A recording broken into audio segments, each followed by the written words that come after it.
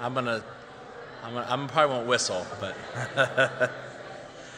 All right, if I could invite you to make your way, pull yourself away from um, the morsels and the food and the drink. I promise you will be rewarded in other with the other senses besides taste.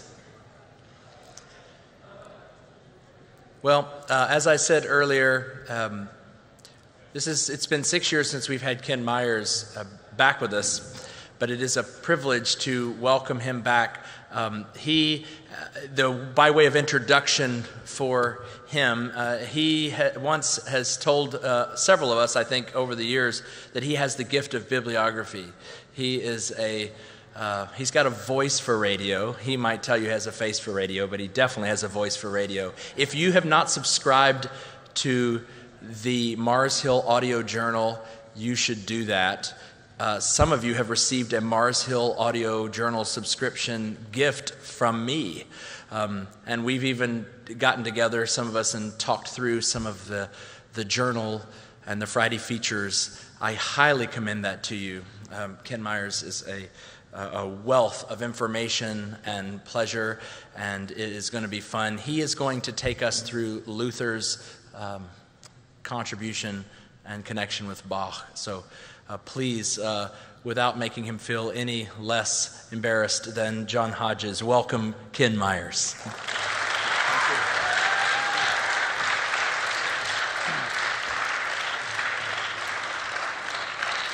Thank you.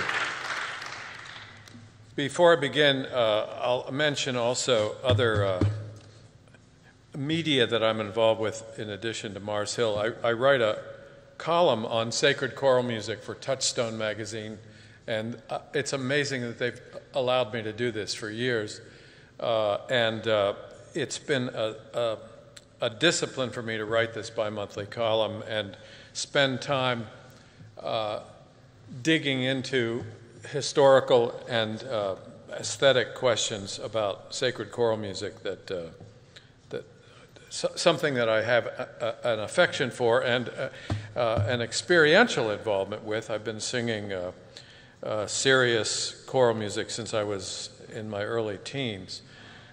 so anyway, Touchstone has those columns every issue.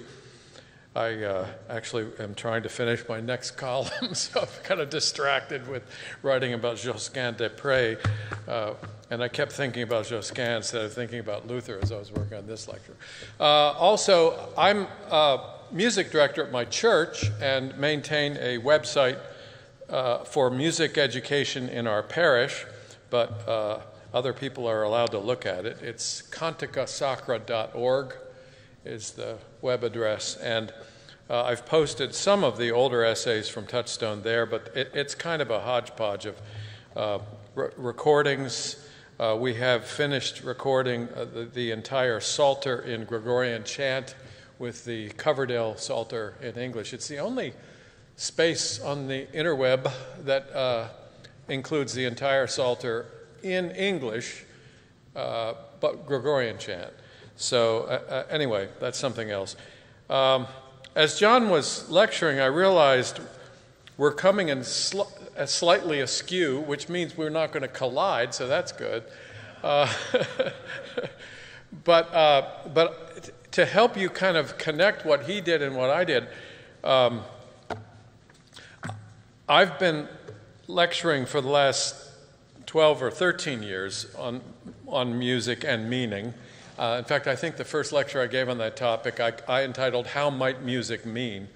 Uh, very similar concern. So, I, I, and uh, one of the things I was eager to rebut is the claim that that meaning in music is purely conventional. That that that music is in, inherently meaningless, and we just assign what we want to to it. And um, and so uh, I've, I've been eager to to rebut that.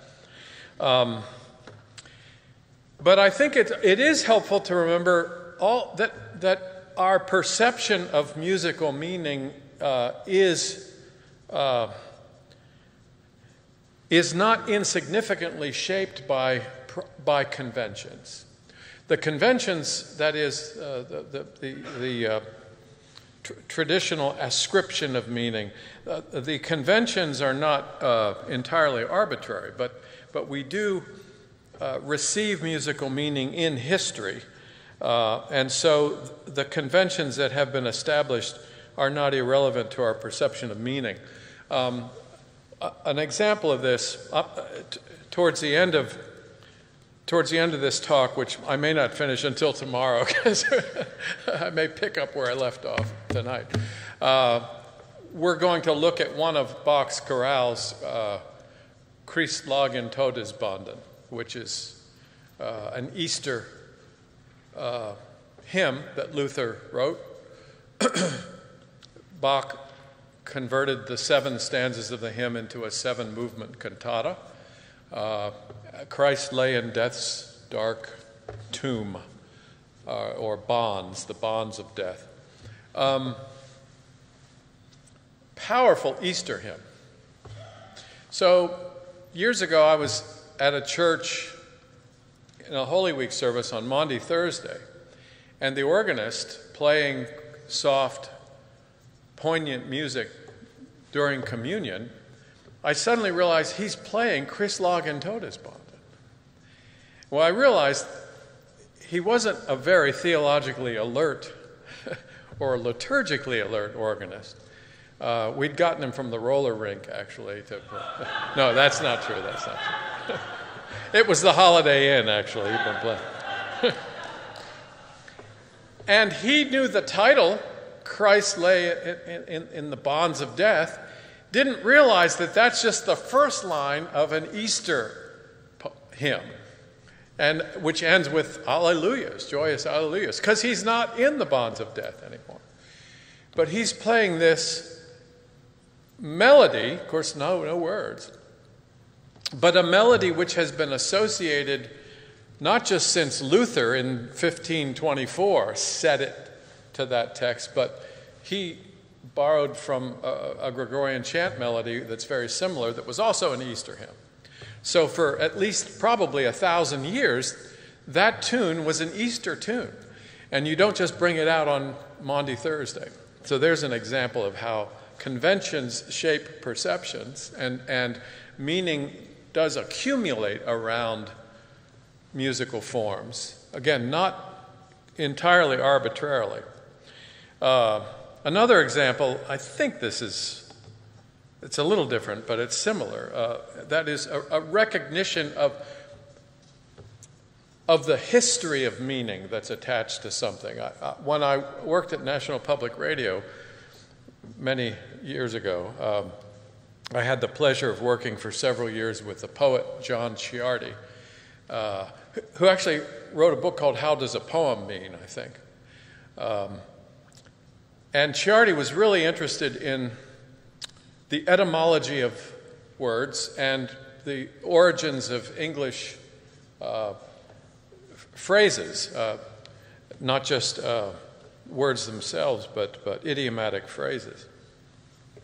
And he, he told me once, uh, he was teaching creative writing, I think, at Rutgers, and uh, he had a, a, student who had written a, a short story about a, a transatlantic voyage, and there was a sentence that said, on, June 14th, we arrived at the middle of the Atlantic Ocean. And Ciardi said, no, no, no, no, no. You can't, you can't use the verb arrive. It comes from arrive, to the shore. You can't come to the shore in the middle of an ocean. so, and, and he said, you know, the, the word arrive carries with it this this. Says, uh, I think it's Emerson who says that words are fossil poems. They kind of they, they have embedded meaning within them, uh, even in their etymologies. And the best poets and the best preachers, I should say, uh, have that etymological history. They know the history of it. So while we might say arrive is perfectly good to use in that sentence, uh, it, it, it loses, it, to use it is to uh, ignore the traces of meaning that it carries with it. And what I want to do in the tonight and tomorrow is to look particularly at how traces of meaning are sustained in Bach's work, how he's profoundly aware of where these tunes and words have been in the life of the church as he uses them. And that, moreover, his listeners, the congregation, particularly the congregation in Leipzig, who heard most of his cantatas, were profoundly aware of where those tunes and texts had been. And he could insert a tune without even needing to use the words because they knew the theological associations that were present uh, with that tune. That's uh, an awareness that we don't all have, but if you're interested in understanding Bach's music better, you need to try to cultivate the awareness, and cult- there are lots of ways you can cultivate it, not just through study. I, in the last couple of years, I've been trying to listen to. Bach wrote most of his cantatas to be sung on particular Sundays or feast days in the church, tied to the gospel reading that was appointed for reading in that, in that time. My church uses the uh, 1928 Book of Common Prayer, which fortunately has the same gospel and epistle reading for each day that, that Bach was using. So uh, when we read a gospel, uh, when our gospel reading and epistle reading for the coming Sunday, the fourth Sunday after Trinity, I can listen to the cantata Bach wrote for the fourth Sunday after Trinity and, and get another sermon. Uh, if I didn't really like the one, I, oh no, I didn't. so, earlier, is John here? John? No, not that John. The, the John organist, John Hurd. Yes. Was this one of the 18? Is that what it's called? So he played a chorale prelude. Uh, and there, there's another setting of Komm Heiliger Geist in that set in that series, isn't there? He played this marvelous performance of one of the earliest of Lutheran hymns, Komm Heiliger Geist, uh, Come Holy Ghost. Uh, it's not only one of the earliest, it's one of the shortest Lutheran hymns. Lutheran hymns are notoriously long. Seven stanzas is kind of average, 14 stanzas, whatever. This is a three stanza Lutheran hymn, which is almost a contradiction in terms. Um, but uh, I, I, wanted to say a little bit to segue from, from his wonderful performance of that work. Uh, it, it's, a, it's a very enduring Lutheran chorale. Um, and I'll be talking a lot about chorales and the role they have in, uh, in Luther's uh, in Luther's liturgical reforms, but uh, but working up to uh, the role that they played in, in Bach's work. Um, just a little little factoid. Uh, there are about 1,100 pieces of music in the Bach catalog, complete works. Over half of them are either based on chorale melodies or include some uh, presentation of chorale melodies. Uh, and uh, I'll talk more about the, why that's a remarkable thing for, for Bach. Uh, so, so, to understand the Lutheran chorales and the role they had in the life of the church and where they came from is really, uh, uh, I think, imperative to understanding understanding Bach's work. Now, the first stanza of Komm Heiliger Geist um, was written by an anonymous German poet, first published around 1480, which was before Luther was born. Uh, it's a rough paraphrase of a Catholic prayer which dates back at least to the 11th century. Uh, a, a paraphrase in German. It was not used liturgically, but it was used devotionally. And here's an English translation of that stanza Come, Holy Ghost, Lord God, fill with the goodness of your grace the heart, spirit, and mind of your believers. Kindle in them your ardent love. O Lord, through the splendor of your light, you have gathered in faith people from all the tongues of the world, so that in your praise, Lord, may there be sung, Hallelujah, Hallelujah. Now, Luther liked this poem and uh, felt that it would make a wonderful hymn for use in the church in Pentecost, something that was singable by the congregation uh, and not just by clergy and choir. So he wrote two more stanzas, uh, and he seasoned the second stanza with his characteristic commitment to truth about salvation. Here's the second stanza You, holy light, precious refuge, let the word of life enlighten us and teach us to know God truly, to call him Father from our heart. O Lord, protect us from strange doctrines. Yeah, that's Luther. So that we may never look for any teacher except Jesus in true belief and may trust him wholeheartedly. Alleluia, alleluia. And in the third stanza, Luther's pastoral side emerges. You sacred warmth, sweet consolation, now help us remain help us always to remain joyful and comforted in your service. Do not let sorrow drive us away. O Lord, through your power make us ready and strengthen the feebleness of our flesh so that we may bravely struggle through life and death to reach you. Alleluia. Alleluia. Now this is far from the most famous of the Lutheran chorales, uh, but it was one of the very first to appear in print, 1524. Uh, I was thinking as I was working on this talk, uh, we, in 1517, many people celebrated the 500th anniversary of the Reformation. 1524 is the big year. That's the 500th anniversary of the publication of not one, but two Lutheran hymnals that shaped music profoundly. Um, and they were small works, but uh, remarkable in a number of ways. The first, one was published in Wittenberg, the other in Erfurt, and uh, uh, the, the Wittenberg volume contained only 32 songs. Uh, the Erfurt volume, 25 or 26, depending on which edition you bought. And both hymnals included the text of Komm Heiliger Geist, and more notably, they included the melody that that Luther adapted. Once again, he's always adapting stuff. This melody he adapted from a, sixth, a 13th century predecessor for use with this text. And it was a tune that had stuck with that text until today. Now, in the interest of full disclosure, I have to confess that the first stanza of that hymn was sung uh, by an octet of voices at my wedding. Uh, and, oh, yeah, oh, yeah, thank you. um, and I can't remember, it was before the pastor said, You may now kiss the bride, or after. I'm sorry, I can't remember. I know it was right before the recessional. Uh, and uh, here I'm going to play a. Uh, I couldn't find.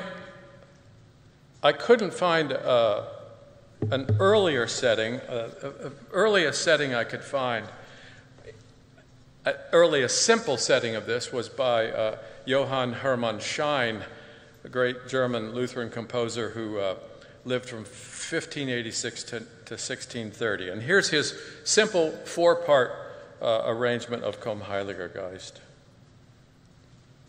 Oops, almost there.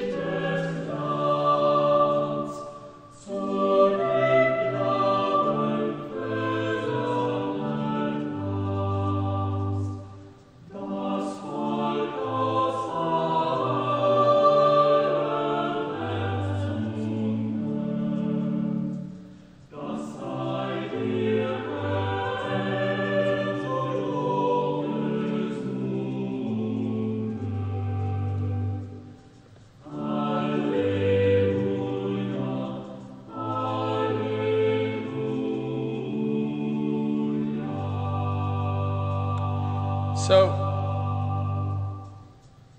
anybody know that tune? Uh, uh sung it? Is it in hymnals? Is it? Uh, do you know if it's in any? I don't know if that tune is in many hymnals right now. Uh, it's it's actually a little bit more, a little bit longer than most than the average chorale, I think. Um, and again, this is, this is a simple chorale setting from a composer who lived almost exactly 100 years before J.S. Bach. Now, I, I mentioned that the melody for this was in that first Wittenberg hymnal of 1524.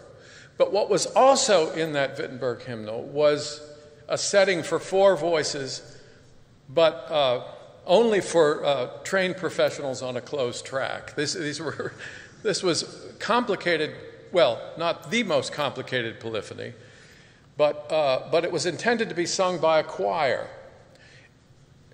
And I'll explain later how Luther balanced congregational singing in unison with choir singing of pretty complex polyphony, which is what Johann Walter, who was one of Luther's colleagues and collaborators, who uh, helped edit these two 1524 hymnals. Uh, here is, I, I, I finally, I realized, oh, I have a record. I was searching for recordings. I realized, oh, I have one. Uh, you buy music online, and if you don't get that booklet, you don't know who the composer was. So I had a, compo- a, composition I had to do some research to figure. This is, in fact, Johann Walter's uh, first setting, which was in the 1524 hymnal. Yeah.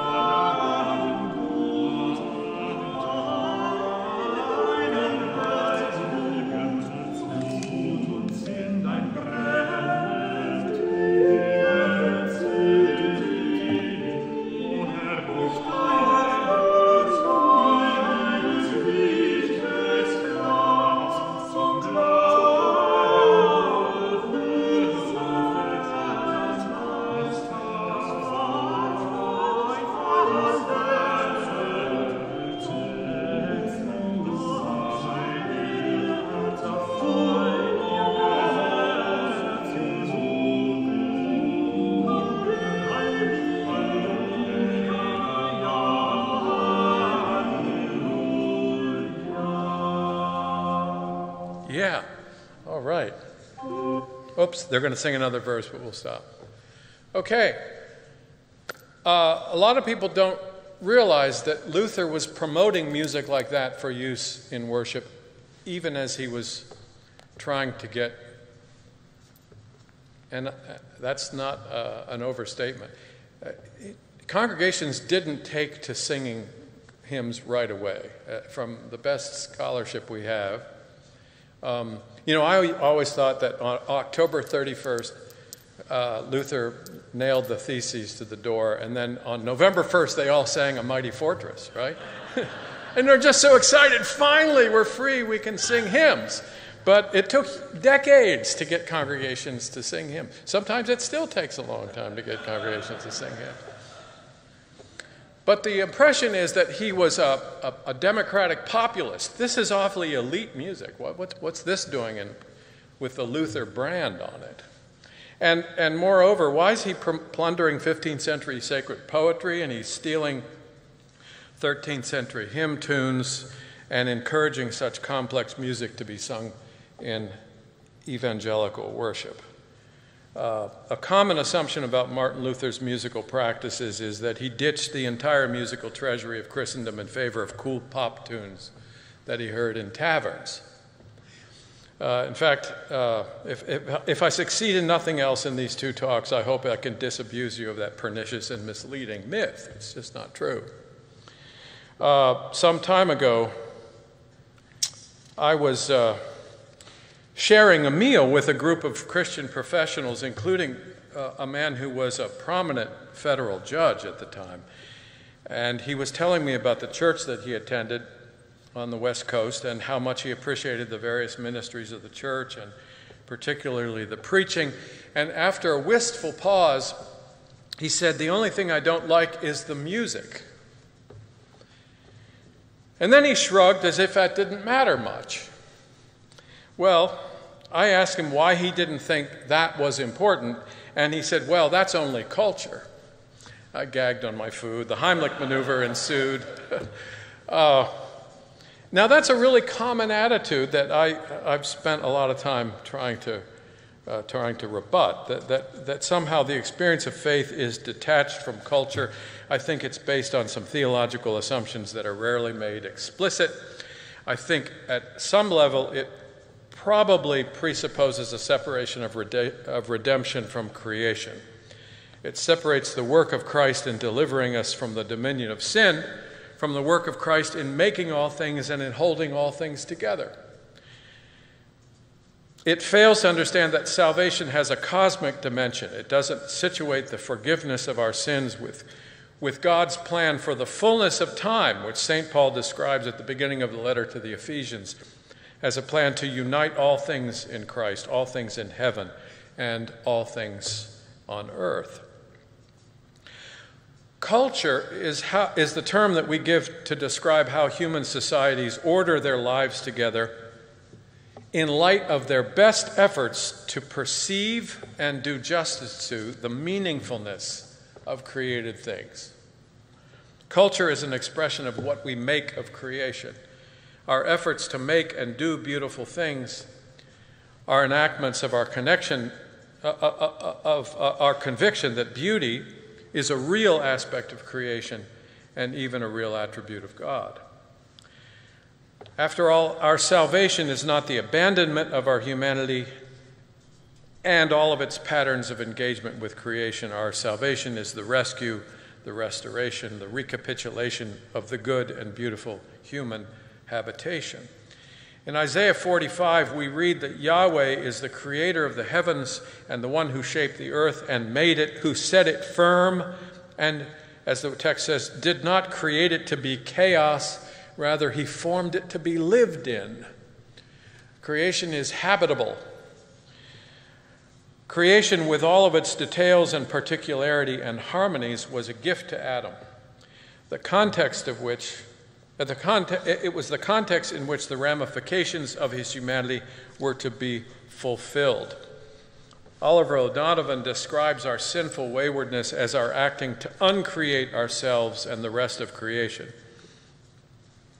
But when the power of sin is overturned, it's the resurrection of Christ that's present as a central event. It's the resurrection of the man Adam, the universal man, the last, excuse me, of the man Jesus the universal man, the last Adam, who retains his humanity forever and thus restores creation's possibilities of fulfillment. So, I think rightly understood, how we engage creation in cultural pursuits is not an insignificant or superficial concern. It's just not, it's not just cosmetic, it's cosmic. Our worship cannot address God as Redeemer without acknowledging God as Creator. It's false to express gratitude for the amazing grace that saves us, but meanwhile act as if creation, including the gift of our very life, is somehow a neutral or meaningless or self actualizing thing, something that just happens to be there. If we encourage wonder at God's love in rescuing us to, from sin, but nurture indifference at God's love in making all things good, we perpetuate a dualism that ends up separating faith from life, which I think invites the living of everyday life as if God doesn't exist. Now, the events going on here this week, I assume, are directed with a strong commitment to affirming the integrity of faith and culture, the unity of redemption and creation, and it's profoundly fitting that these talks are named after Johann Sebastian Bach, a man whose astonishing cultural accomplishments were achieved just as the Enlightenment's momentum was building. Because I think the Enlightenment begins to create a chasm between faith and life that there were already cracks in the West uh, that made that chasm, uh, in a sense, uh, predictable. But uh, it's, it's during the time of the Enlightenment that, uh, that the chasm uh, becomes much more uh, profound.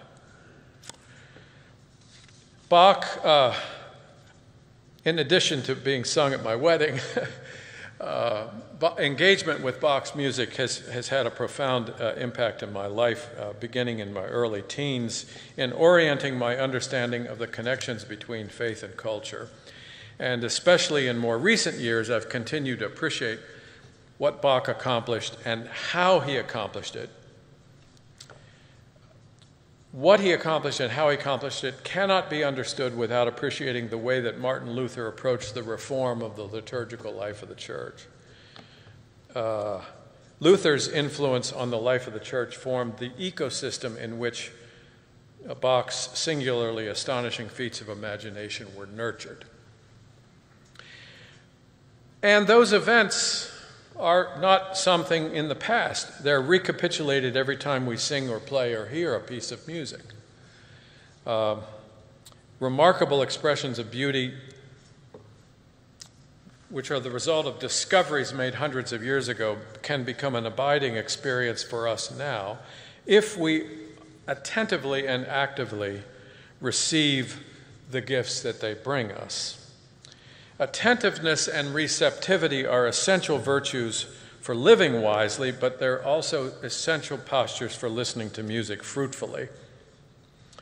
Her classic study, Feeling and Form, philosopher Susanne Langer described musical hearing as a special intelligence of the ear and one that's only acquired through exercise. And she warned, and she's writing in 1953, before we had smartphones.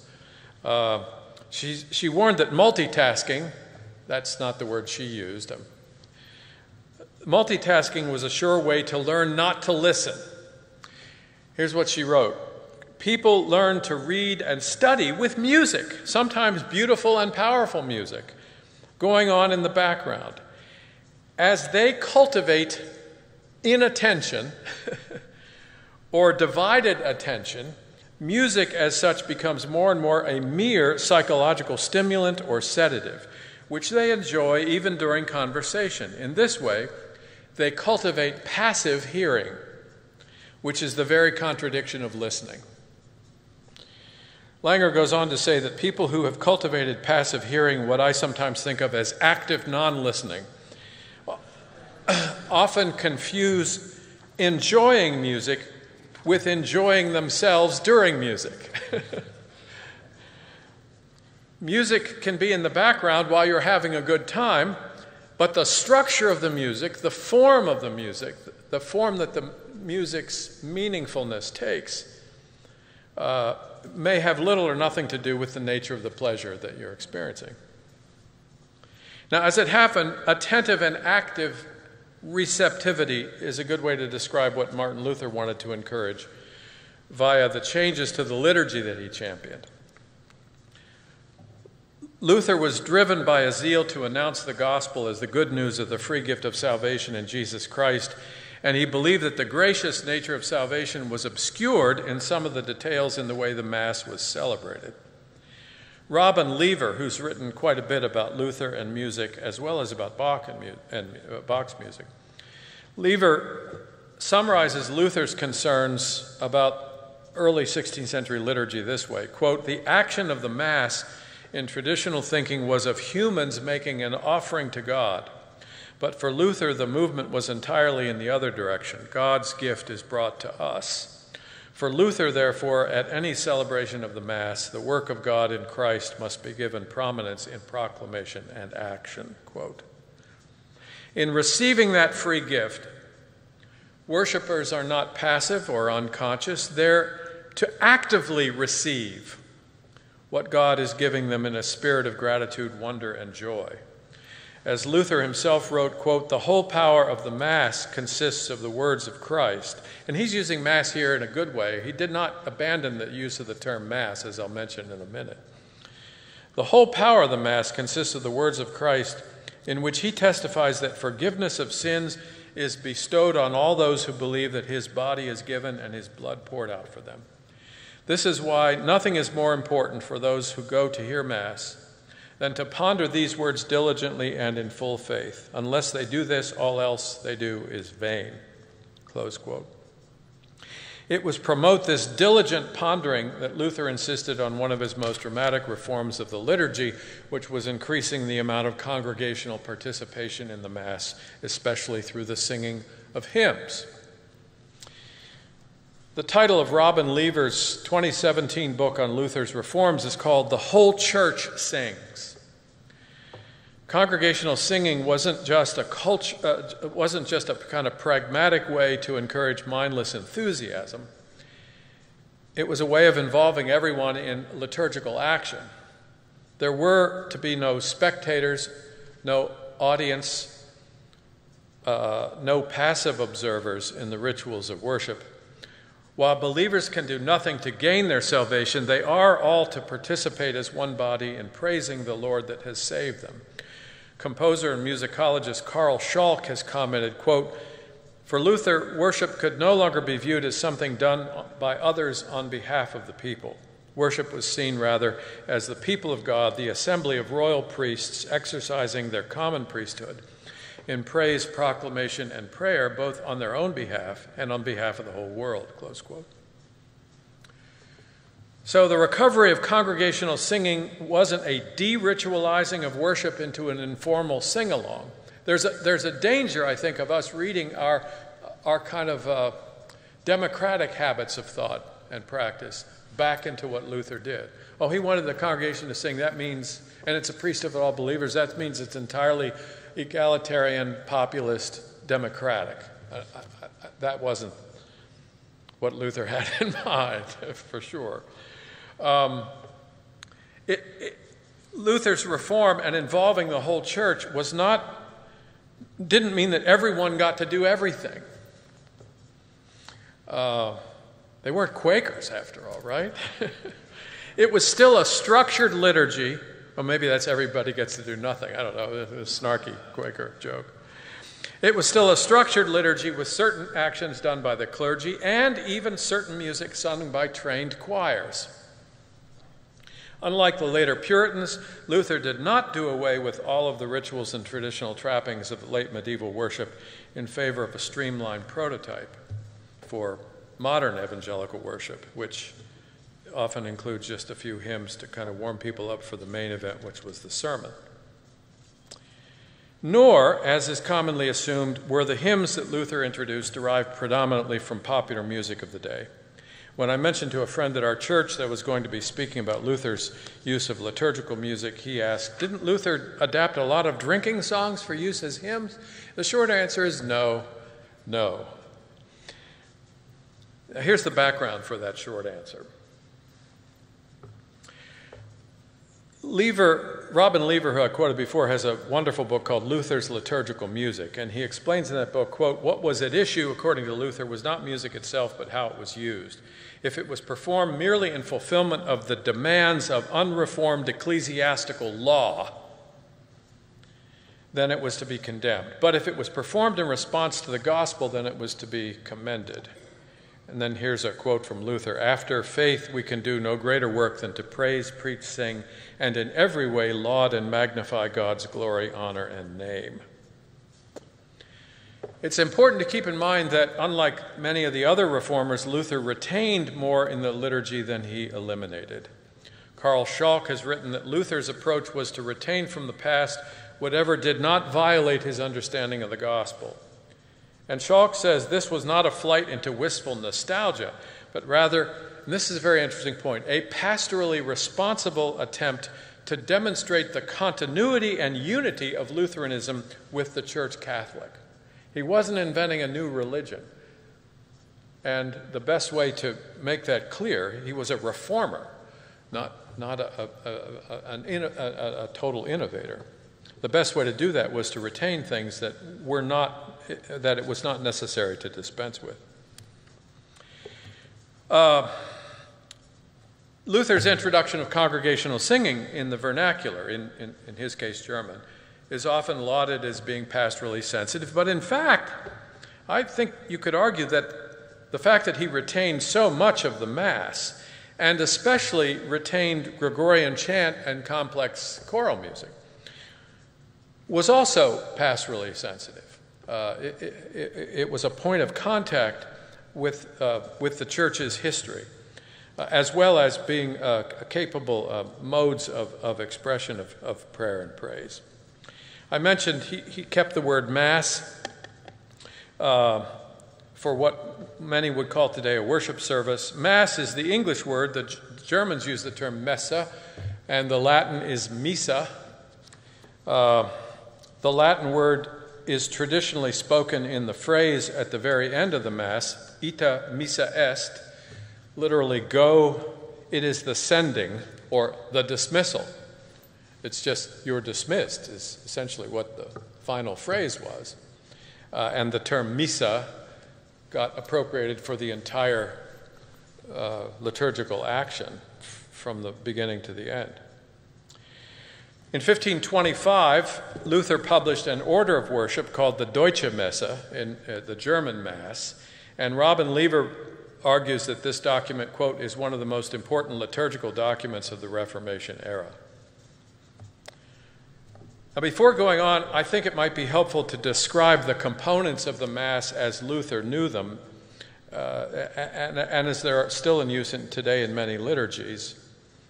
Uh, the Mass, first of all, is always a Eucharistic service. Uh, there were other services in the life of the church that included prayer and song and, and not the Lord's Supper, but the Mass was where the Lord's Supper was, was uh, celebrated. And in the Mass, there are certain fixed texts that are always chanted or recited. Uh, they're each a form of prayer, and taking together these fixed texts are called the ordinary of the Mass. Um, and every musical setting of the Mass includes these elements. John said there's six. Yeah, there are five or six. five or six. There's one pair that, that, that is usually almost always kept together and, and, and kept together musically as well as textually. Uh, let me recite these. This will be on the quiz, so you'll want to make note of this. I'm, I'm sorry I didn't use slide. I, uh, I talked to Jared about using slides. I say I want to help people be better listeners, and if I use slides, they, they they're not challenged to listen closely. Here are the five elements of the Mass. The Kyrie, which is a Greek word for Lord, is the uh, opening movement. Kyrie eleison, Christe eleison, Kyrie eleison. And usually those three phrases Lord have mercy, Christ have mercy, Lord have mercy. Often, usually, those three phrases are repeated three times. So you have a nine, nine phrase Kyrie, Kyrie, Kyrie, Christe, Christe, Christe, Kyrie, Kyrie, Kyrie. And that's, you'll hear that in a lot of musical settings uh, of the Mass. So that's the first section. And it's the only section that's typically sung in Greek. Uh, the rest of it was in Latin. The second section was the Gloria, which usually, which, uh, a text which begins with the words of the angels at the time of the Nativity Gloria in excelsis Deo, glory be to God in the highest. Uh, and then goes on from there. It's one of the longer sections of the Mass. Followed, uh, the Gloria is followed by the, the, the, Credo, or the Creed, which is essentially the Nicene Creed. Uh, the fourth movement is, is the pair of the Sanctus. We heard Sanctus earlier. Sanctus and Benedictus. The Sanctus is the words from Isaiah Holy, holy, holy. Uh, and then uh, the Benedictus, uh, blessed is the man who cometh in the name of the Lord. Is that right? And they both close with Hosanna in the highest, typically. Uh, so we have words from Isaiah and Matthew. And then the last is the Agnus Dei. John played part of an Agnus Dei earlier, which is a prayer for God's mercy based on John the Baptist's declaration Behold the Lamb of God who takes away the sins of the world. Kyrie, Gloria, Credo, Sanctus Benedictus, and Agnus Dei, the five elements of the ordinary of the Mass. Now, but there's more, as they used to say on television ads. Uh, there are certain elements of the Mass that vary from Sunday to Sunday and on special feast days, and these are called propers because they are proper to a particular uh, particular day. Um, Most of these propers are short texts from Psalms, just sometimes just a verse or two, some from other biblical sources, sometimes rarely from an extra biblical source. The first of these is the introit at the very beginning of the Mass. And then there are two propers uh, between the reading of the epistle and the gospel reading. And those are called the gradual and the Alleluia. During Lent, you don't sing Alleluia, so the Alleluia is replaced with a tract. The tract isn't something you hand to strangers, uh, it's, it's a, a, a, text. And then there's uh, another short text sung during the preparation of the elements for communion called the offertory. And finally, there's a proper called communion, which is chanted during the distribution of the elements. So there are four propers in the Mass, introit, and then the pair, gradual Alleluia, which are sung back to back. Offertory, communion. Five ordinary elements, four propers. Now, lots, lots more in the service. There's traditional reading, uh, there's a schedule of readings, an epistle reading, a gospel reading, there's the Lord's Prayer, as well as a number of other prayers and declarations from the clergy and prayers, uh, prayers of the people.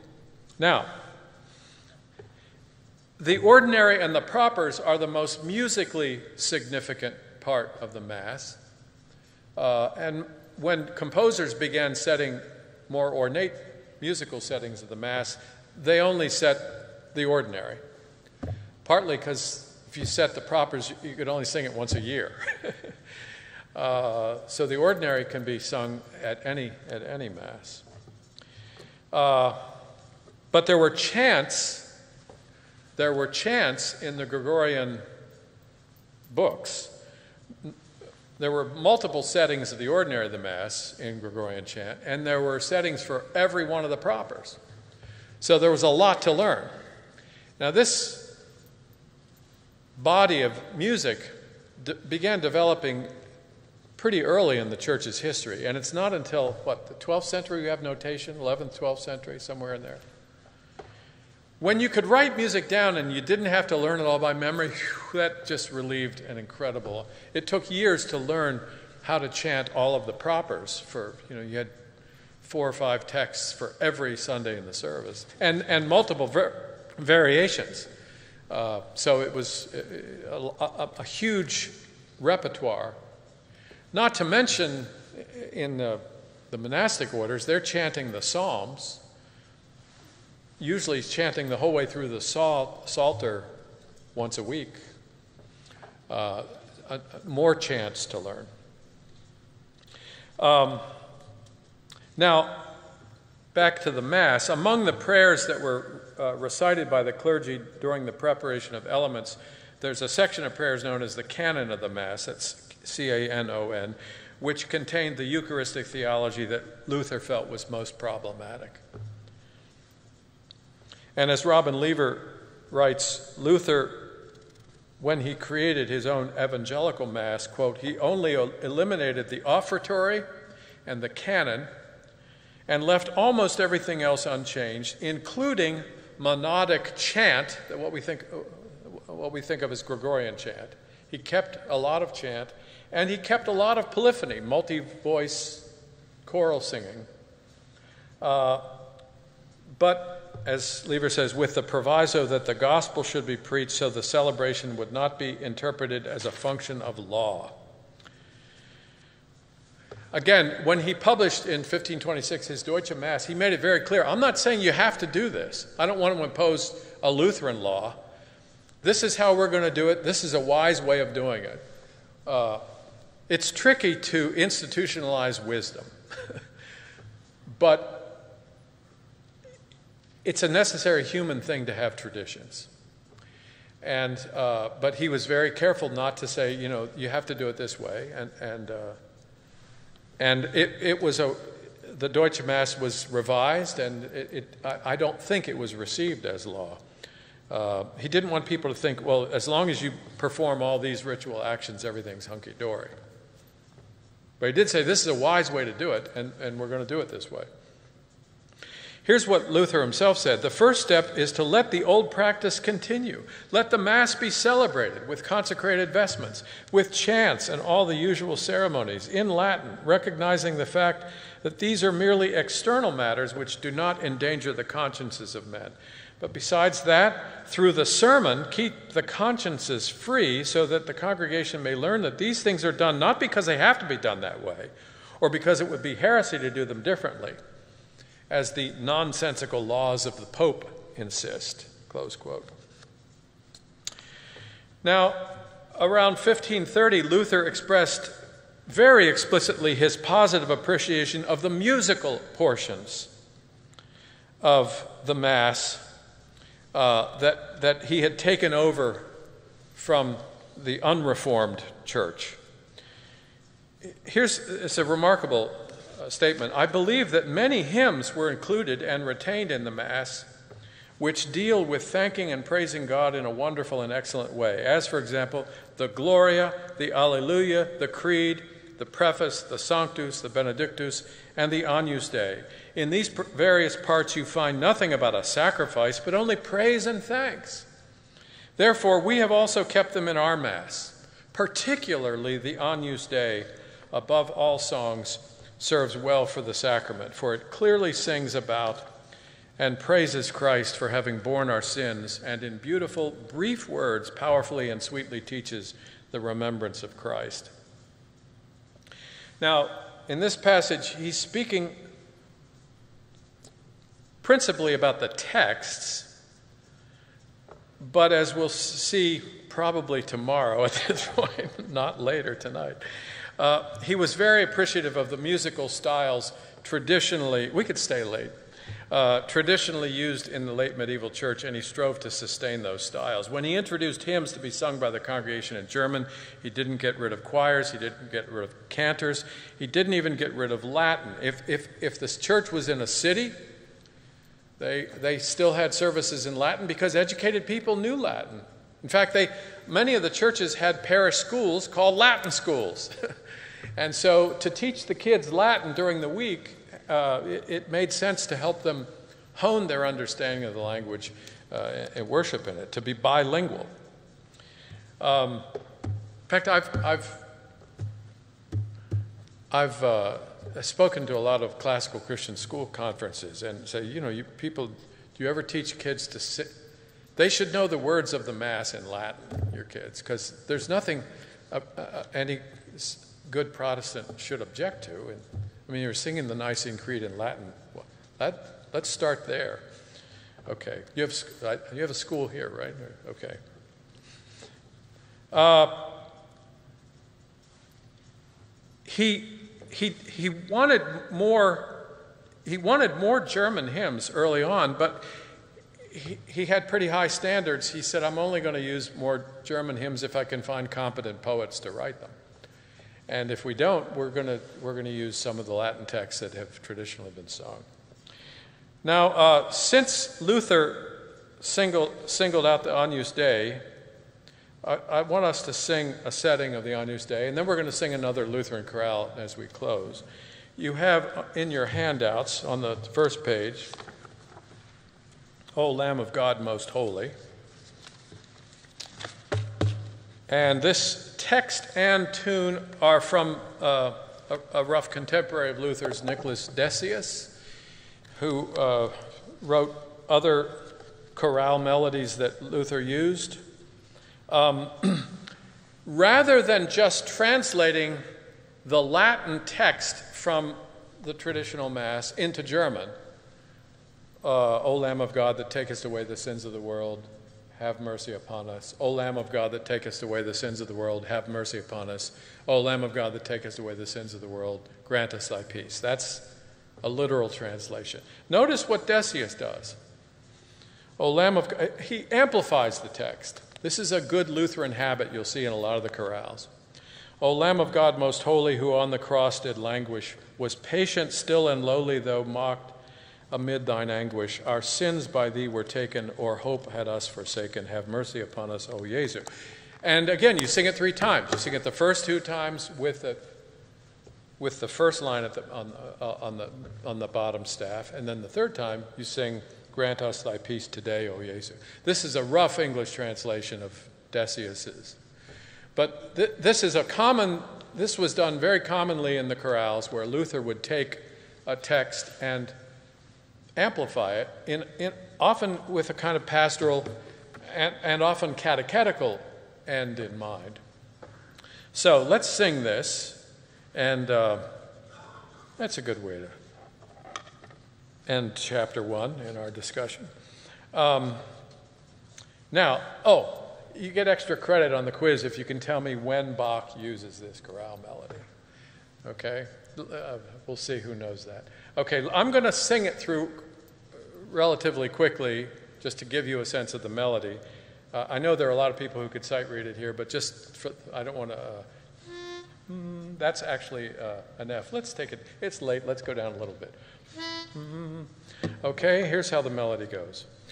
O Lamb of God most holy, who on the cross did languish, was patient, still, and lowly though mocked amid thine anguish, our sins by thee were taken, or hope had us forsaken. Have mercy upon us, O Jesu. Now, those of you who can sight read parts, feel free to do that. We will not do any polyphony based on this melody, improvising a fugue, perhaps. No, we won't do that. So let's, uh, let's sing this a little bit slower than that, and we'll sing all three stanzas. The first two are the same, sec- and the third one has that last line. Mm, ready? O Lamb of God, most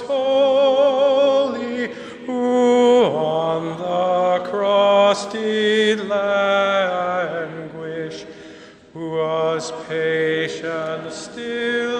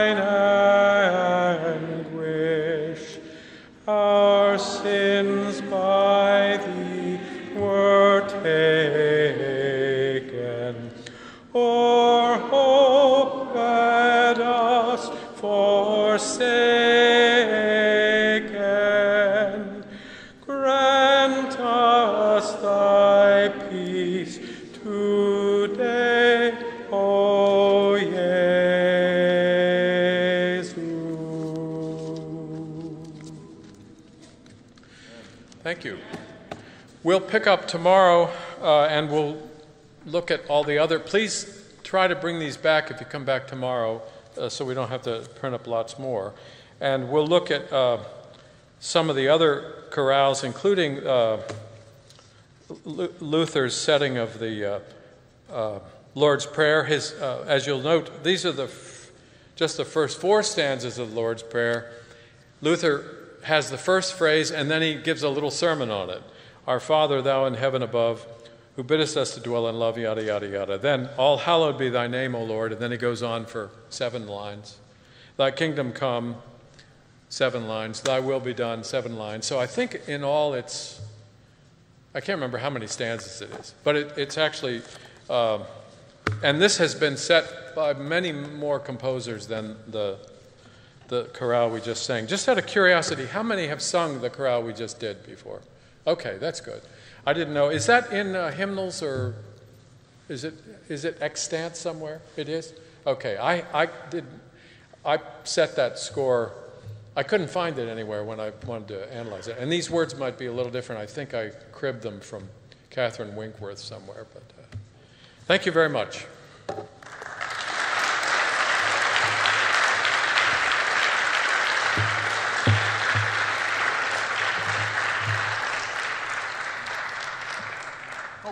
Sing. We're going to sing again. Am I leading this too? oh, yeah, don't put away your handouts.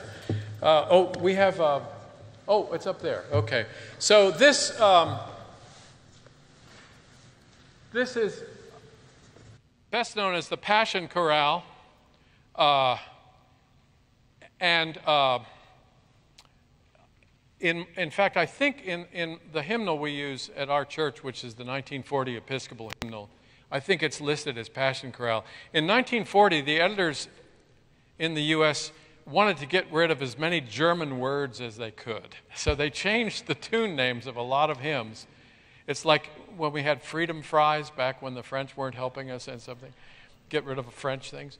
So there are, lot, but this is uh, this is the tune name that uh, it shows up most because these are the first four words in German uh, of the uh, of, of one of the texts. Now, uh, I don't know how many times, I should know offhand how many times this chorale appears in the St. Matthew Passion, but I think each time it has different text. It's known as, as the Passion Chorale because it's often, uh, Oh, Sacred Head Now Wounded. Uh, is, uh, and I thought um, this is uh, a, probably a familiar text, but not to this tune. Uh, so, num- a number of you have sung this text by Paul Gerhardt before, but it works well with this tune. So I thought this would be a nice way to end. And I'm actually going to sit down there so I can sing tenor instead of uh, standing up here and singing the melody. And it, it's Sarah, right? Yeah, thanks. You're going to play this for us? Okay, thank you.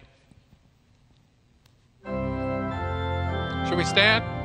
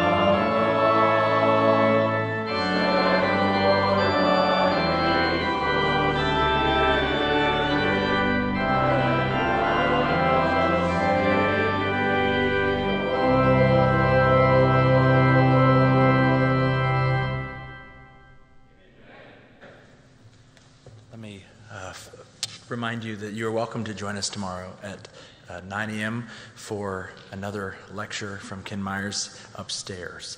So, and then tomorrow evening for the conclusion of this. But let me close this in prayer.